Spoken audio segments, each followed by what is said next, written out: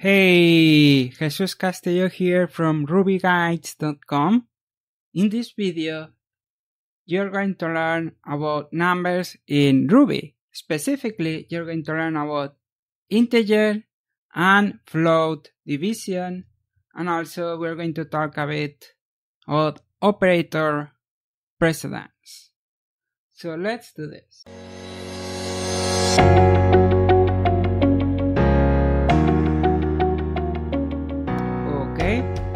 Integers are the regular whole numbers that we use in in Ruby. So five is an integer, fact is a class integer. So you can see you can do dot class, and you can use this in uh, on any Ruby object like strings, right? And it tells you the class of that object. In this case, five is an integer, and 50,000 is also an integer, right?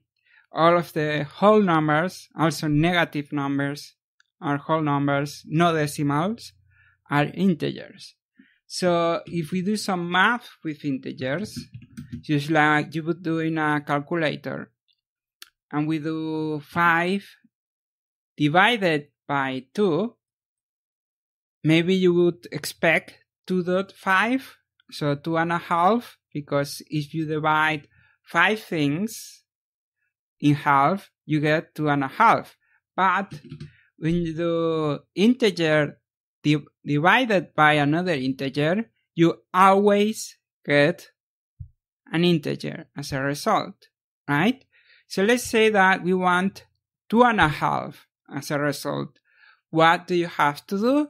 Well, one of these two numbers, only one, has to become a float. So a float is the numbers in Ruby that, that have decimals, right? And there's two ways, mostly two ways to get a floating point number in Ruby. One is to take an integer like 2 and then make it a float. Uh, here I'm using a method and the method is called to underscore f. You might be familiar with this kind of method because there is also to i, which means to integer. There's also to s, which is to string. But in this case, I'm using to f, which means convert into a float.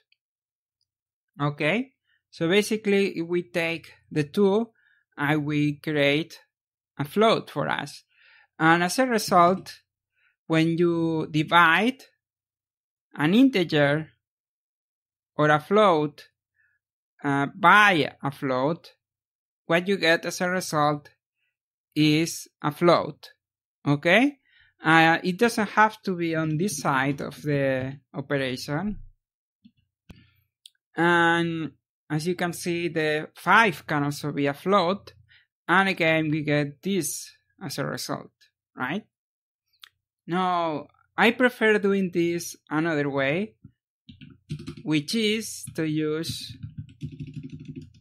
a float directly. So if you can if one if you can control one of these numbers, if one of these numbers is hard code, meaning it doesn't change, it's already directly written in the code, you can do this, right? So this is an integer, this is a float.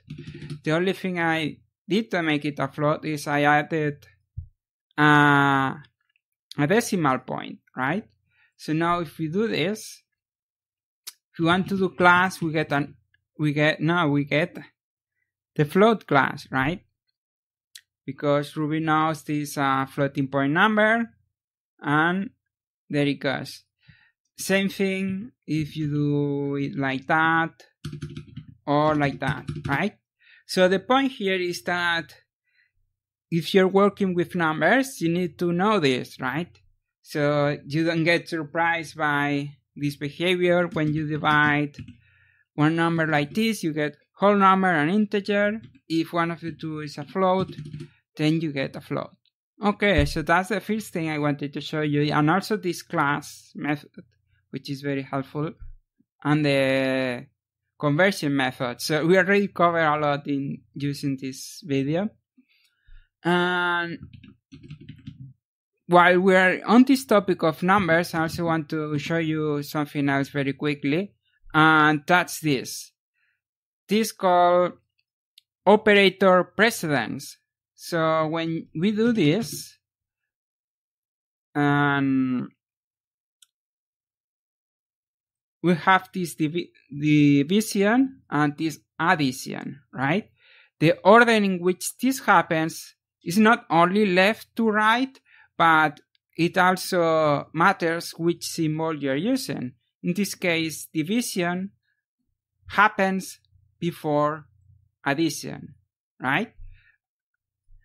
And we can change this by using parentheses, just like you would do in actual math in a calculator or whatever. And of course, that changes the result. So that's another thing that's important to know. I actually seen an interview question that asks these two things. It asks you to get a floating point number as a result of a division. I also ask you to change the order of operations. And ask how you do that. And there's one more thing about floats. If you're going to be working with floats, uh, is that they are not exact. So here's what I mean.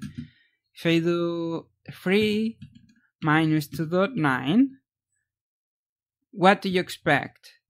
Well, you may expect expect 0.1, right? As the result.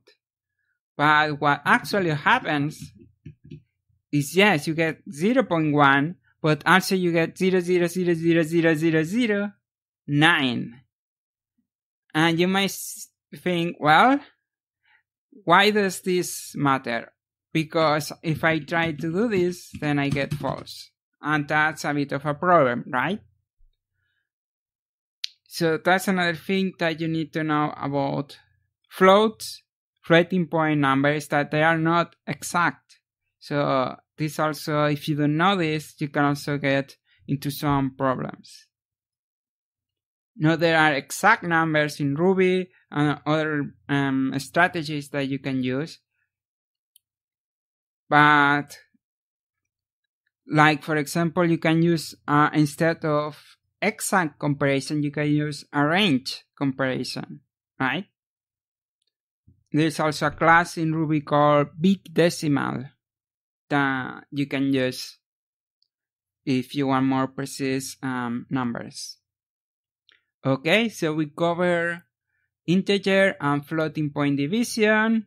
We cover the float class methods or the float. Um, we cover the class method, this one. And we cover operator precedence, and we also cover that floating point numbers are not exact. And the reason this happens is because how these numbers are stored in memory. They use a very specific format that is, it can be very fast, but as a result of how this format is stored, it, some precision is lost when you make operations like this. Okay? So I hope you learned something new. If you like this video, please click the like button for me so I know that you like it and so more people can find it and benefit from this information. If you want to keep learning, watch more of my videos now right here in this channel. Subscribe to the channel if you haven't yet and visit my website rubyguides.com rubyguides.com Thanks a lot for watching. I will see you in the next video.